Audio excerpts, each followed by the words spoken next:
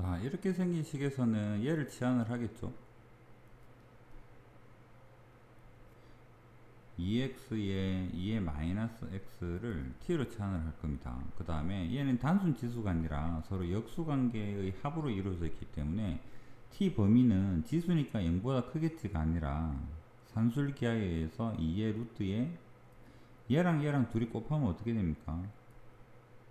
역수관계 있으니까 1이죠 그래서 최소값이 2가 돼요. 줄여서 적어보면 우리 치환할 건데 치환되는 t의 범위는 2보다 크거나 같다 해서만 생각을 하겠다는 소리입니다. 그럼 얘는 뭘까? t를 제곱하면 어떻게 됩니까? 2에 2x에 2에 마이너스 2x에 완전 제곱하면 요거 곱하고 요거 곱하면 2 곱하기 2에 2에 곱하면 2가 되겠죠. 얘가 요거잖아. 그래서 4의 x 더하기 4의 마이너스 x 자리에는 t제곱 플러스 마이너스죠. 마이너스 2를 적을 거예요.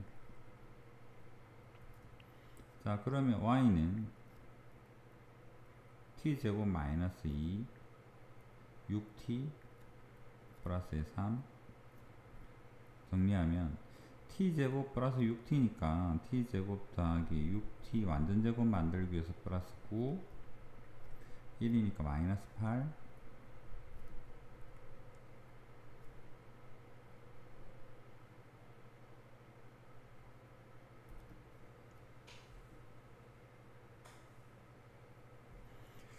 자, 얘를 그려보면, 여기 그립시다. 얘를 그려보면, 대칭축이 마이너스 3인 2차 함수인데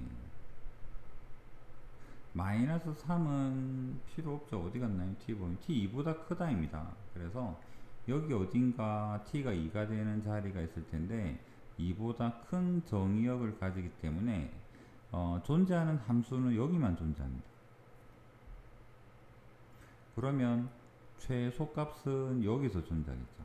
얘가 최소예요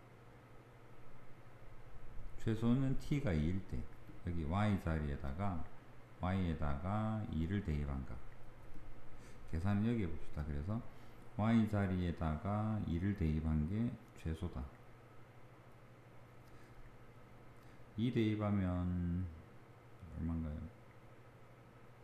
여기 대입할까? 2 대입하면 25 빼기 8 해서 17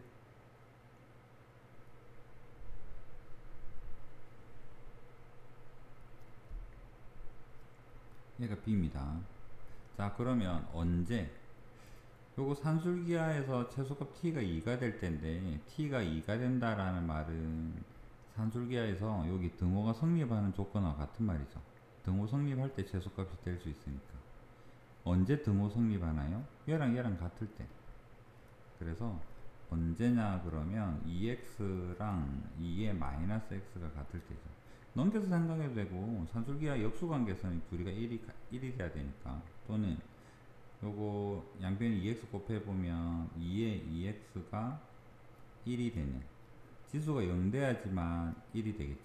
그래서 x는 0이에요. 얘가 a가 됩니다. 그래서 a는 0 b는 17 a 더하기 b도 17